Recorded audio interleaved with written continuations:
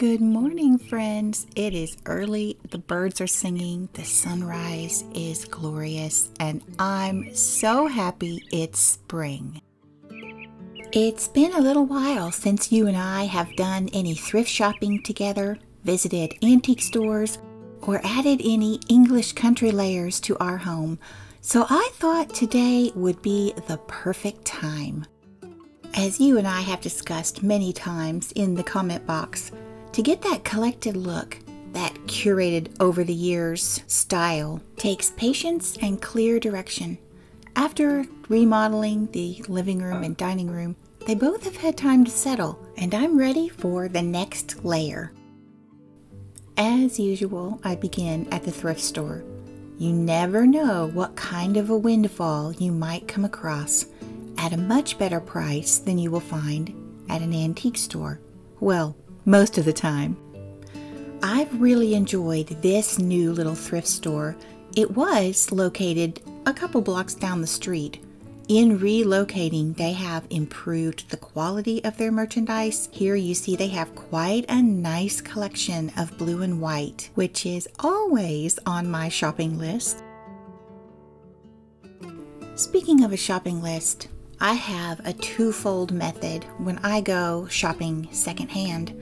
I do have specific items that I know my house is calling for and that would mix well with what I already have, but I also have an open mind.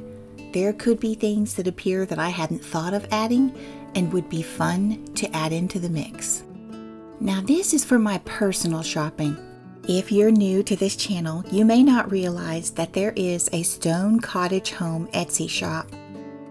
In our shop, you will find many items similar to what I like to buy for my English country cottage style, including art, lighting, dishes, textiles, decor, and books. I'm excited to say that from our shopping trip today and several I've made over the last few months, the Etsy shop has a restock of beautiful items, and I hope you find something that will layer in well for your home. Lovely vintage floral dishes like these may not be what you would choose to put on your everyday table, but they are lovely for creating vignettes on the wall.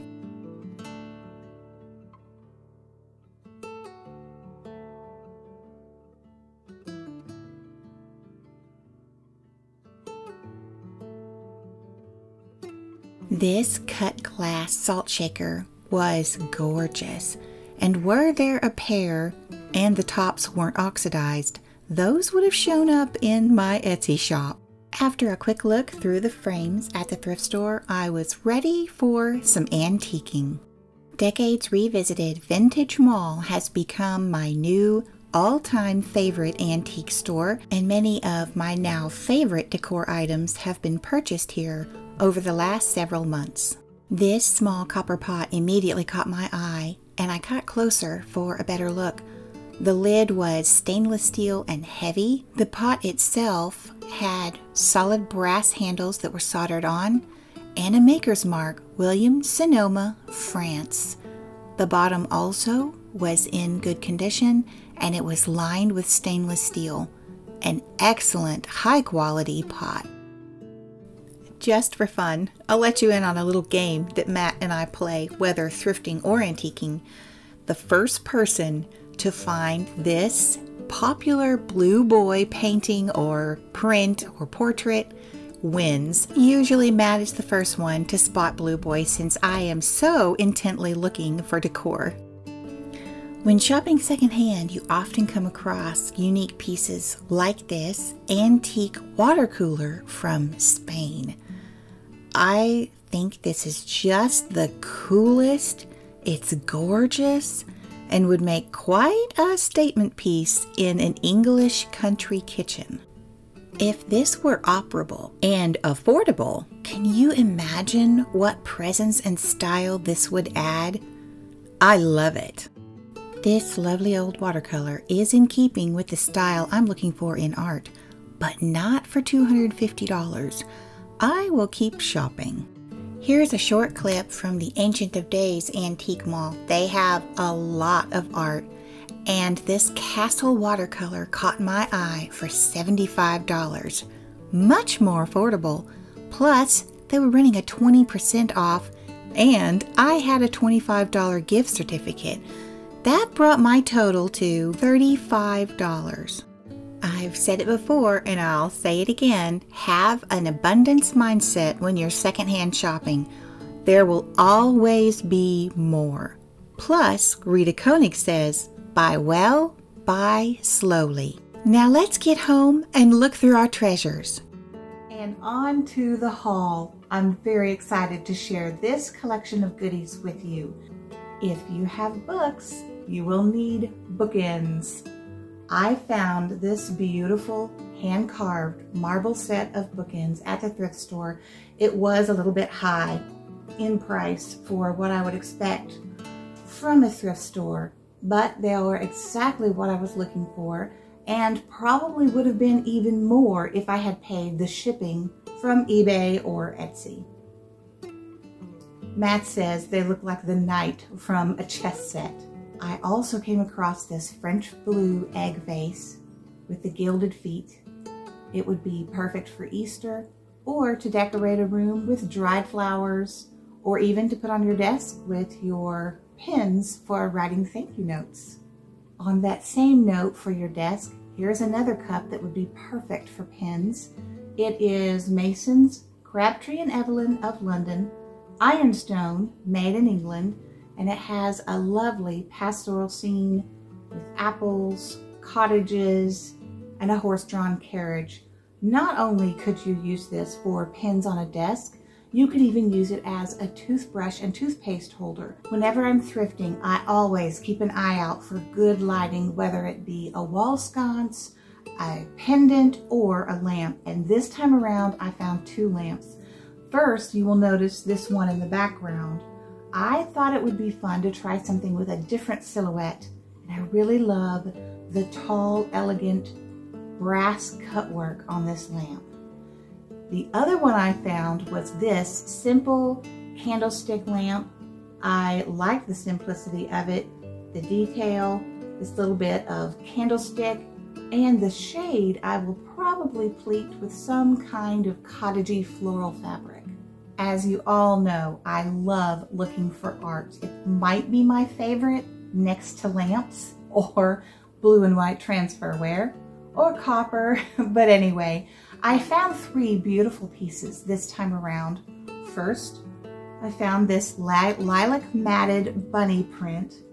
I thought it would be perfect in time for Easter.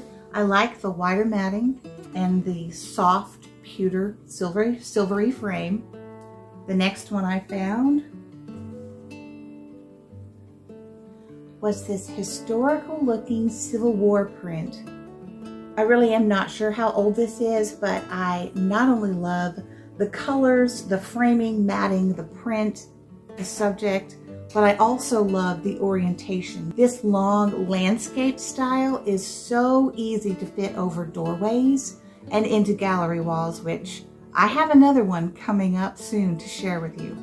And as you all know, I always save my favorite pieces for last. Out of the three art pieces I found this time, this one takes the cake. It is a stunning antique piece of art. You can tell that it's antique because the glass has a beautiful ripple to it when you look across. The Simply the color, the age of the print itself which I believe is a watercolor. It's hard to tell because it's very old. And then the frame with this patina and the way that it's constructed. Older frames are nailed together on the corners versus having a diagonal miter that's glued together. Anyhow, absolutely love this piece and look forward to getting it hung somewhere special in our home you know from the one thrift store that we went to, there was a whole table with blue and white transferware. I always get excited when I see those, and you can bet there were several pieces that I picked up. Mm-hmm. First off, I found a full-size dinner plate of the Britain Castles, followed by a saucer The saucer I think was $1.50 and the plate was the same. The saucer does have a small chip, which doesn't concern me, and the dinner plate is in perfect condition. This next piece is unusual and I've never seen one like it before. I spotted this large, slightly domed blue and white transferware piece and wondered what exactly it was. On the back it says, the Spode Blue Room Collection, Continental Views, introduced 1844, made in England. And then I realized this was a great cover for your stove. And I thought, oh, that would be beautiful on our gas stove at home. And then as I was looking at it, I realized we have square burners, so this wasn't going to work. But I just had to figure some way to use this and I realized I could use it as a hot plate for hot soups or things like that. I am currently using it as a tray on our dining room table. I also found a red and white piece of transferware from that same shop. This is also part of the Britain Castle collection.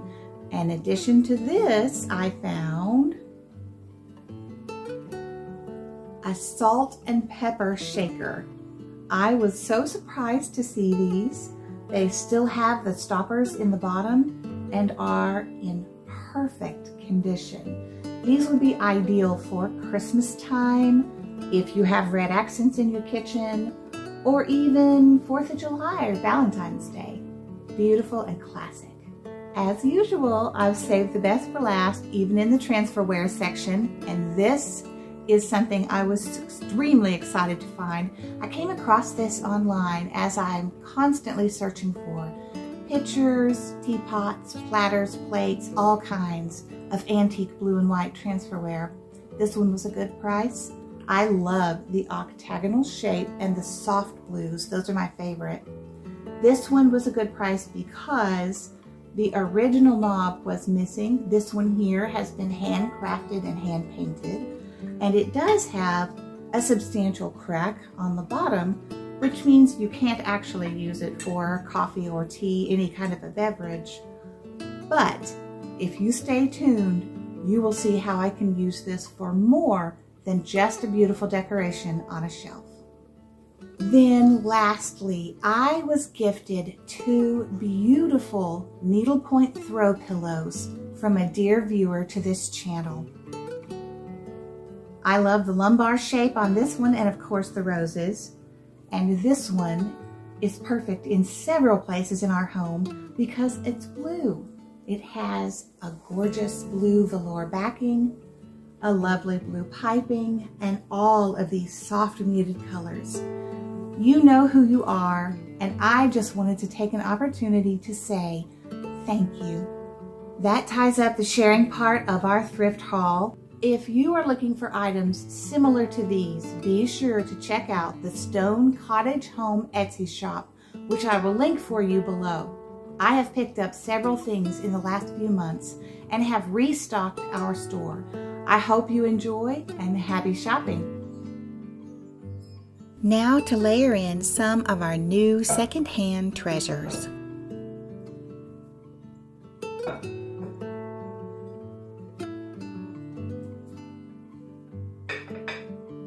When not being used as a vase for flowers, this antique transferware teapot perfectly covers the lamp cord and fills out the vignette on the island. A tiny transferware butter pat makes the perfect ring dish in the kitchen windowsill. After looking up these Italian carved marble horsehead bookends online, I was shocked to see how expensive they were from Chairish and First Dibs. I am now quite pleased to have found this pair for $20.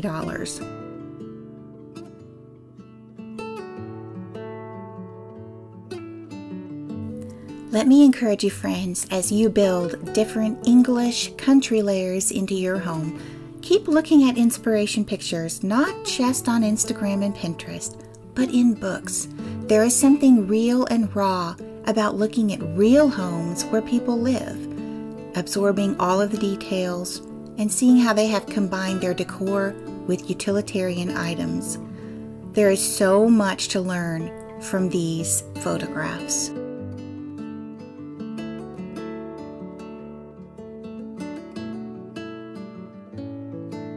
Friend, I hope you've picked up some good ideas and good examples of things to look for and how to use them in your home as you are secondhand shopping, whether it's the thrift store, the antique store, or online places such as Marketplace. Happy shopping, happy decorating, happy homemaking, and until next time, take care.